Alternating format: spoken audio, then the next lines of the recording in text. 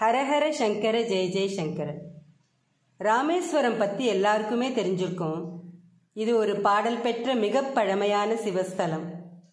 இந்தியாவில் இருக்கிற பன்னெண்டு ஜோதிர்லிங்க ஸ்தலங்களில் ராமேஸ்வரமும் ஒன்று இந்த கோவிலில் இருக்கிற மூலவர் ராமநாத சுவாமி அம்பாள் பர்வதவர்தினி.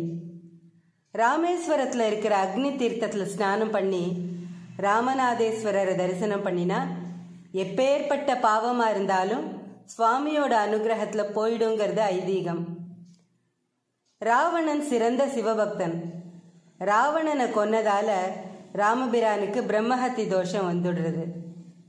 ராமேஸ்வரம் கடற்கரையில் சிவலிங்கத்தை பிரதிஷ்டை பண்ணி வழிபட்டா ராமரை பிடிச்ச பிரம்மஹத்தி தோஷம் போகும்னு அகஸ்தியர் சொல்றார்.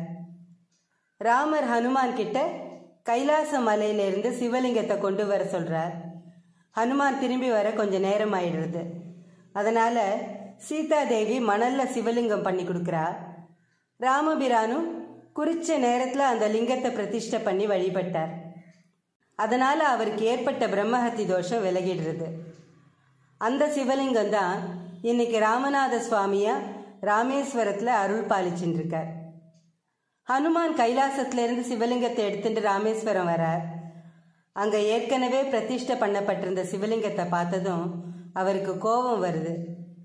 தன்னோட வாளால் அடித்து அந்த சிவலிங்கத்தை பெயர்த்து எடுக்கிறதுக்கு முயற்சி பண்ணுறார் ஆனால் அவரால் அதை அசைக்க கூட முடியல.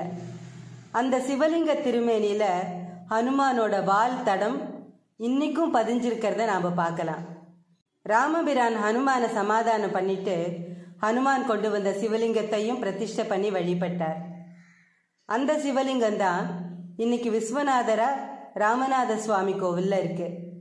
அதோட மட்டும் இல்லாமல் ஹனுமான் கொண்டு வந்த சிவலிங்கத்துக்கு தான் முதல் பூஜை பண்ணணும்னு கட்டளையிட்டார். அதனால இன்னைக்கு வரைக்கும் முதல்ல விஸ்வநாதருக்கு பூஜை பண்ணிட்டு அப்புறம்தான் ராமநாத சுவாமிக்கு பூஜைகள்லாம் நடக்கும். ராமர் ஈஸ்வரனுக்கு பூஜை பண்ணின ஸ்தலம்ங்கிறதால இது ராமேஸ்வரம்னு பேர் வந்தது. ஒரு சமயம் இந்த கோவிலில் இருக்கிற சிவலிங்கம் மணலால் வடிவமைக்கப்பட்டது இல்லை. அப்படி மணலில் பண்ணியிருந்தா அபிஷேகத்தும் போது கரைஞ்சு போயிருக்கும்னு ஒரு கூட்டம் வேண்டாத வாக்குவாதம் பண்ணினா. அதை கேட்ட அன்னை பர்வதவர்தினி தாயாரோட தீவிர பக்தரான பாஸ்கர ராயருங்கிறவர் உப்புனால ஒரு சிவலிங்கம் பண்ணி அதுக்கு அபிஷேகம் பண்ணினார். அந்த சிவலிங்கம் தண்ணி பட்டு கரையலை. இதை பார்த்து எல்லாரும் வாயடைச்சு போயிட்டா. சாதாரண பக்தனான நான் பண்ணின உப்பு லிங்கமே கரையாதப்போ அன்னை சீதாதேவியால் மணல்ல வடிவமைக்கப்பட்ட சிவலிங்கம் கரையாதது ஒன்றும் பெரிய அதிசயமே கிடையாதுன்னு நிரூபித்தார் இன்னைக்கு வரைக்கும் அந்த உப்பு லிங்கம் ராமநாதர் சந்நிதிக்கு பின்பக்கம் இருக்கு. ராமேஸ்வரம் கடலுக்கு அக்னி தீர்த்தம்னு பேரு. தான் கற்புக்கரசின்னு நிரூபிக்கிறதுக்காக சீதாதேவி அக்னி பிரவேசம் பண்ணினா. சீதையை தொட்ட பாவத்துக்காக அக்னி பகவான் இங்க வந்து கடல்ல நீராடி தோஷம் நீங்கி ராமநாதரை வழிபட்டார். அதனால இந்த கடலுக்கு அக்னி தீர்த்தம்னு பேர் வந்தது.